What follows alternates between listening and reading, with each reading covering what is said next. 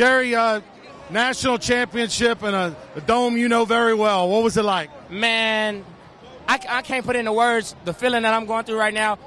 All I know is the work that we put in starting a year ago when we started football school, as we've talked about, Coach Coach O stated before this game. I feel like nobody else in the country deserved this more than us. And we came out here and we fought to the end. That was a very good Clemson Tigers yeah. team. They fought real hard. But like I said, man, we put in work. We believed in ourselves, and it showed. They had a little. They had a little success early on in the game. It seems like you guys got better as the game went on. What did you guys do? What kind of adjustments? We had to just calm down. You know, a lot of guys, including myself, never been in a game in a game of this stature before. You know, and honestly, we had never been put in that position before. You know, playing from up all season. So that just showed the will and the fight of this team being able to come back and win this game. We got a party on on deck. Party. I don't even think party is a, a big enough word to describe what we finna do here in Louisiana.